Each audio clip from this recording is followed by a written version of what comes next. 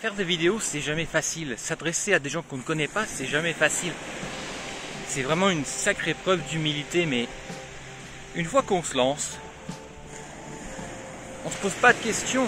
T'as confiance en ce que tu dis, t'as confiance en ce que tu sais, et tu sais que ça peut faire du bien car tu as écouté et regardé beaucoup de vidéos et ça t'a fait du bien aussi. Ça t'a inspiré, ça t'a donné envie de partager, de donner, d'échanger. Et ça c'est bon parce que pourquoi se sentir jugé? Pourquoi se sentir gêné?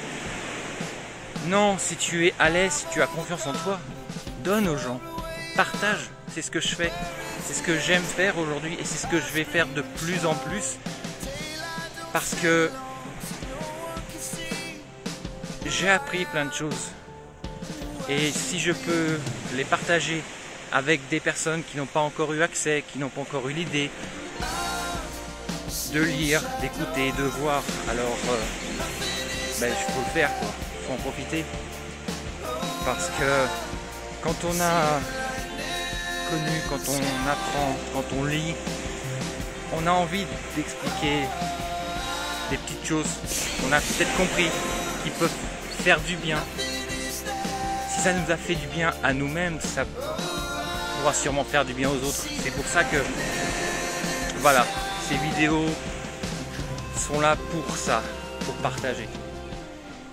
Et si ça peut faire quelque chose, si ça peut créer un déclic, si ça peut amener les, les gens à prendre des décisions, si ça peut t'amener à te dire ok demain je vais commencer à me lever pour réaliser mes rêves, pour aller vers mon objectif, pour me rapprocher un peu plus du but que je me suis fixé, alors ma mission sera accomplie. Bonne journée et que le meilleur t'arrive.